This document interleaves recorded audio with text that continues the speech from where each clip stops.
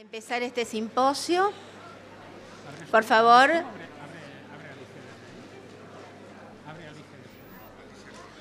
Bueno, damos inicio al simposio del laboratorio AVI, Nuevas Estrategias en el Manejo de la Enfermedad Inflamatoria Intestinal. Primero, el doctor Julián Panés, jefe de servicio de gastroenterología del Hospital Clínic Barcelona, España, va a hablar de colitis ulcerosa, impacto de la enfermedad y objetivos terapéuticos. Posteriormente, la doctora María Josefina Sobrero, de la sección Enfermedades Inflamatorias del Hospital Italiano, va a presentar un caso clínico de colitis ulcerosa.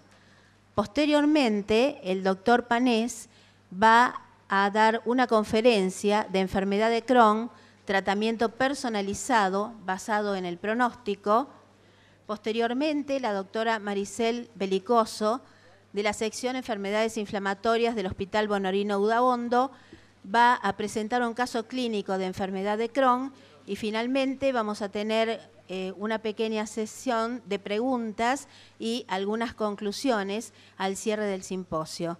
Eh, hay unas tarjetas que van a encontrar en sus asientos que son de cuatro colores, roja, eh, verde, eh, negro y azul, y en el medio de los casos clínicos y en el medio de algunas de las conferencias se van a hacer votaciones y más o menos en una manera grosera van a poder, vamos a poder decir si gana la pregunta eh, que tiene el color de tarjeta rojo, verde, azul o negro, como para tener algún tipo de interacción con el público. Y la interacción con el público mayor lo vamos a tener al fin del simposio con las preguntas. Bueno, ya damos la palabra a una muy buena conferencia del doctor Panés.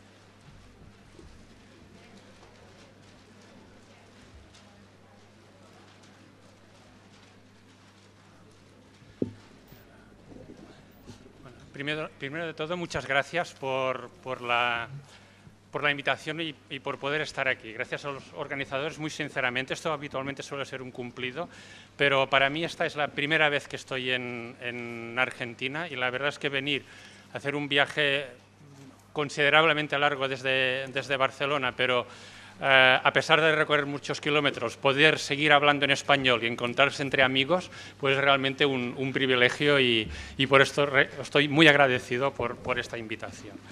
Em, en esta primera charla, eh, en cuanto a, colitis ulcerosa, yo quería eh, repasar fundamentalmente dos, dos aspectos de esta enfermedad que creo que deben condicionar la aproximación que tenemos a nuestros pacientes, que están definidos en el, en el título que elegí para la charla, que es Impacto de la enfermedad y eh, objetivos terapéuticos. En cuanto al impacto de la enfermedad, hay tres aspectos que quería considerar.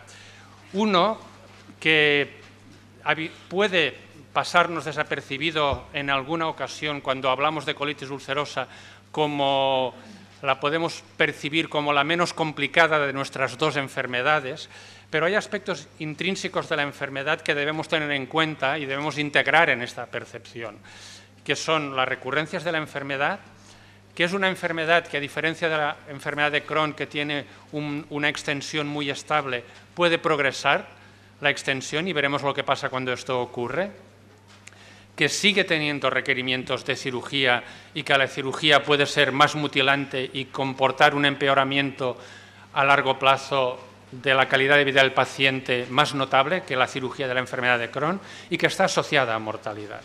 Y todos estos aspectos tienen un impacto en la vida del paciente y quiero proveerles con la perspectiva del paciente en cuanto a este impacto y para acabar ver cómo las armas que tenemos en nuestras manos para tratar la enfermedad pueden eh, mejorar este impacto de las características de la enfermedad sobre la vida del paciente y sobre el curso mismo de la enfermedad. Y en el primer aspecto de las características intrínsecas de la enfermedad, un estudio poblacional del norte de Europa, pero que es muy similar y que hay, han habido otras iniciativas que han reproducido estos resultados, nos dice que aproximadamente en este estudio poblacional la mitad de los pacientes tenían un curso relativamente benigno de la enfermedad, con actividad de la enfermedad importante al principio, pero después un curso leve. En cambio, la otra mitad de los pacientes tenían realmente un curso bastante más complicado. Y este, en este estudio, además, hemos de tener en cuenta que ya no entraron el 12% de los pacientes que en esta base poblacional ya habían sido colectomizados. Por tanto, si al curso clínico complicado le añadimos los pacientes que ya fueron colectomizados, bastante más de la mitad de los pacientes con colitis ulcerosa tienen un curso considerablemente complicado. Y esto es una perspectiva global. Cuando hacemos una perspectiva, vamos a decir, a cortes anuales, lo que observamos en, rayas azules, en la parte azul de las barras indica la parte de los pacientes que están en remisión, pues que transversalmente ocurre lo mismo. La mitad de los pacientes en un momento estarán en remisión, pero la otra mitad o tienen enfermedad activa o han pasado ya por la cirugía. Otro aspecto característico de la enfermedad es la posibilidad de que la enfermedad se extienda. Y esto no es algo infrecuente, tanto en el caso de pacientes que inicialmente tienen proctitis como pacientes que inicialmente tienen proctosigmoiditis, en una tercera parte de los casos, la enfermedad en un determinado momento va a afectar a una zona más extensa del colon. Y cuando detectamos esto, estamos delante de un paciente que va a seguir un curso grave, que va a seguir un curso refractario y que hemos de estar preparados para afrontar y tratar precozmente esta situación. Yo creo que este es un estudio eh, relevante eh, para la práctica clínica que, llevó a cabo eh, José Echevers mientras estuvo en nuestra unidad en, en Barcelona. Y lo que hicimos en este estudio fue, este es un estudio caso-control, comparando colitis ulcerosa que se extendieron, qué ocurrió en el momento de la extensión, con otro grupo de colitis ulcerosa que estaban apareados por edad, sexo y extensión de la enfermedad. Es decir, las diferencias en gravedad no vienen dadas por la extensión, vienen dadas porque fuera una extensión estable o fuera una enfermedad progresiva. Y lo que lo que la doctora Echevers demostró fue que eh, los síntomas de la enfermedad son más graves, los pacientes tienen eh, más diarrea, los marcadores inflamatorios están más elevados, tanto PCR como VSG, la hipoalbuminemia, que es un síntoma de gravedad y es un signo de mal pronóstico de la enfermedad, era más frecuente en aquellos brotes en los que la extensión había progresado, tenían más anemia y eran más refractarios. Los pacientes tenían con una mayor proporción, 27 contra 46%, un curso refractario, necesitaban mucha más ciclosporina, 11 contra 23%, necesitaban más anti-TNF, infliximab era lo único que teníamos en aquel momento aprobado, 1 contra 6%, es decir, seis veces más, más hospitalizaciones, el doble, eh, más... Eh, más largas estas hospitalizaciones y fíjense que la cirugía iba de un 5% a un 19%. Quiere decir que tuvimos que colectomizar en el momento de la extensión a uno de cada cinco pacientes. Por tanto, estos son, este son datos relevantes que tienen que ayudarnos a establecer tratamiento intenso y precoz cuando detectamos que ha ocurrido una extensión de la enfermedad. Globalmente, además, cuando hablamos del impacto que tiene la, enfermedad y de los factores intrínsecos de la enfermedad, la colectomía en un estudio reciente, estamos hablando de un estudio del 2009, sigue siendo un, forma parte integral del tratamiento, yo diría lamentablemente, y esto es de un 10% a los 10 años en el caso de la enfermedad adulta, pero fíjense que en un estudio del mismo año es de un 20% a los cinco años, mitad de tiempo, doble de colectomías en pacientes en edad pediátrica. Por tanto, el diagnóstico en la edad pediátrica, este es otro dato que nos indica que se asocia a un mal pronóstico y que necesitan estos pacientes pediátricos un tratamiento intensivo desde el inicio de su enfermedad. Y otro aspecto es que la colitis ulcerosa en este estudio eh, que de, Tina Hess, que es una excelente epidemióloga danesa, ella demostró en este estudio que hay un incremento de mortalidad y especialmente esto demostró que era así para los países del norte de Europa en relación al, resto del mundo.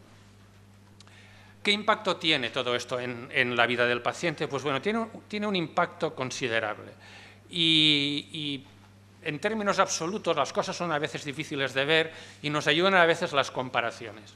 Todos tenemos la idea de que la artritis reumatoide es una, es una enfermedad que tiene un profundo impacto en la vida del paciente. Pues bien, cuando eh, en, este estudio se evaluaron de una forma absolutamente aséptica. Cuál es el impacto en pacientes con colitis ulcerosa comparado, por ejemplo, con artritis reumatoide, era parecida, en todo caso algo más alta la colitis ulcerosa, pero cuando lo comparamos, por ejemplo, con el asma, los pacientes que en los que la patología afecta gravemente el curso de su vida es mucho mayor que en el asma. Y siguiendo con comparaciones relativas, cuando comparamos cómo afecta la vida de los pacientes la colitis ulcerosa en relación con la enfermedad de Crohn, para ambas patologías, la mitad de los pacientes eh, hayan una afectación importante eh, de los síntomas sobre su estilo de vida, que en una cuarta parte es muy importante y en otra cuarta parte es menos importante, pero, como decía, lo destacable es que es igualmente grave en casos de colitis ulcerosa que en nuestros pacientes con enfermedad de Crohn. Por tanto, este es un impacto significativo. Y llego con esto a la última parte de mi charla, es cómo podemos, con las herramientas terapéuticas que tenemos en nuestras manos, atenuar, disminuir o eh, impedir que la enfermedad tenga este impacto tan negativo. ¿Qué tenemos en nuestras manos? Pues bien, no hay duda de que el tratamiento de primera línea para la colitis ulcerosa leve o moderada sigue siendo eh, los preparados de, de 5-ASA y que estos preparados son eficaces en un porcentaje considerablemente alto de pacientes, al menos en el corto plazo, para inducir la remisión. De todas formas, y como contrapartida, la proporción de pacientes que tratados con, estos fármacos consiguen la curación completa de la mucosa es bajo, es aproximadamente de un 20% y cada vez tenemos más datos de cuán importante es la consecución de la curación mucosa para cambiar el curso de la enfermedad. Los pacientes que no tienen una adecuada respuesta al 5-ASA en una aproximación eh, clásico de tratamiento de la enfermedad, que es el que la mayoría de nosotros eh, estamos utilizando actualmente, pues debemos recurrir al uso de corticoides. Corticoides que sabemos bien que tienen en los pacientes respondedores un inicio de acción rápido. Son buenos fármacos para controlar los síntomas y los controlan de forma rápida, pero no son buenos fármacos para controlar la enfermedad, ni a corto ni a largo plazo, aunque se alivien los síntomas eh, a corto plazo. ¿Por qué? Pues porque si bien al cabo de un mes un 80% de los pacientes han tenido una respuesta clínica, solamente un 16% son refractarios, de todas formas, solo es un poco eufemístico en una enfermedad que tiene un impacto tan grave como en la vida de los pacientes, pero cuando miramos al cabo de un año, se ha dado la vuelta y solo la mitad de los pacientes mantienen una respuesta prolongada. Por tanto, los corticoides nos pueden servir para un control rápido de los síntomas, pero de la misma forma que hemos dicho que hay aspectos de la enfermedad como la extensión que nos deben hacer estar vigilantes.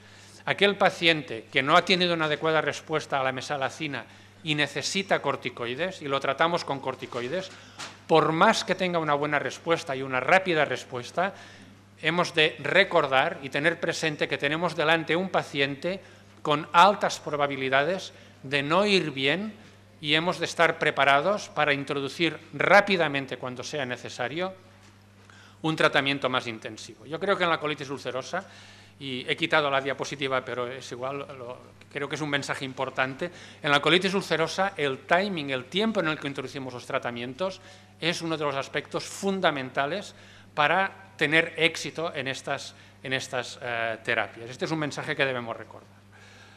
Otro aspecto que a menudo es ignorado del tratamiento con corticoides, nadie ignora la facies de luna llena, nadie ignora la posibilidad de cataratas o eh, las mialgias eh, asociadas al tratamiento con corticoides. Pero el tratamiento con corticoides tiene otro efecto adverso eh, notable y es el incremento de mortalidad. El incremento de mortalidad. Es decir, si nos, en el, el uso de corticoides en un paciente que tiene colitis ulcerosa aumenta el riesgo de mortalidad casi tres veces más, independientemente de la gravedad de la enfermedad por las infecciones, por todos los efectos que tienen estos fármacos. Y este incremento es prácticamente igual en pacientes que tienen enfermedad de Crohn. Por tanto, es un, es un efecto de clase, es un efecto de los corticoides en el contexto de la enfermedad inflamatoria intestinal y son un aviso más de que no podemos basar nuestra enfermedad, el control de esta enfermedad en el uso de corticoides, entre otras cosas, entre otras, porque estamos poniendo en riesgo la vida de nuestros pacientes. Y esto creo que es un mensaje que no debe olvidarse. Eh, ¿Qué objetivos, por tanto, debemos tener eh, para nuestros pacientes considerando las limitaciones de estas dos primeras opciones de tratamiento? Para nuestros pacientes necesitamos fármacos que tengan un rápido inicio de acción, resuelvan los síntomas y permitan volver a los pacientes a su vida normal, a su vida familiar, a su vida laboral, a su vida social, a su vida. Queremos que sean fármacos con una eficacia prolongada para el control a largo plazo. Queremos que sean fármacos que nos ayuden a controlar aquellos casos más difíciles y refractarios, óptimamente que consigan la curación mucosa, que eviten hospitalizaciones y cirugía y que sean fármacos seguros. Este es el fármaco ideal, esta es la definición del fármaco ideal y el fármaco ideal no lo tenemos. Sí que es verdad que eh, el desarrollo de fármacos biológicos en la última década nos ha aproximado un poquito más, todavía nos queda una distancia por recorrer, pero nos hemos aproximado un poquito más a este fármaco ideal.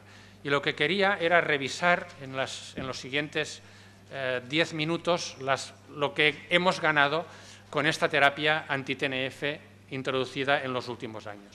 En cuanto a la rápida resolución de los síntomas, y me voy a referir fundamentalmente a los datos más recientes de Adalimumab y sobre todo al estudio Ultra 2, eh, es notable destacar que eh, son fármacos de inicio rápido. Ya a las dos semanas hay una clara diferenciación en la proporción de pacientes que han mejorado, que han tenido una respuesta, 40%, con respecto al placebo, y estas diferencias son significativas para cada uno de los puntos que fueron estudiados durante las ocho semanas del periodo de inducción. Por tanto, inicio de acción rápida. Inicio rápida y es duradero, pues eh, sí es duradero cuando vemos los datos de, eh, los estudios de anti-TNF, eh, vemos que realmente este 17% de pacientes mantienen la remisión y 30% de pacientes mantienen la respuesta a la semana 52. Y hemos de reconocer, como clínicos, que es un poco frustrante estos porcentajes de un 17% y de un 30% para un fármaco cuyo precio no, es baladí. De, cualquier forma, estos porcentajes hemos de tener en cuenta que se refieren a, los porcentajes observados en un estudio hecho con una extrema rigidez en el que los pacientes eran asignados a un tipo de tratamiento y se mantenían bajo el mismo esquema terapéutico a lo largo de todo el estudio sin posibilidad de optimizar, sin posibilidad de seleccionar, que no es como utilizamos estos fármacos en la práctica clínica. En la práctica clínica solamente mantenemos el tratamiento a los respondedores del periodo de inducción. Pues bien, en estos respondedores los porcentajes de remisión y de respuesta a la semana 52 evidentemente se doblan. ¿no? Pasamos de un 17 a un 30% de remisiones completas y de un 30 prácticamente a un 50% de respuestas completas. Y esta yo diría que es la, cifra real, porque no mantenemos, no, creo que ninguno de los que estamos en esta sala mantendríamos un tratamiento como infliximab o adalimumab en un paciente que no tuviera una respuesta a la semana 8. Por tanto, hemos de referirnos a estos segundos porcentajes.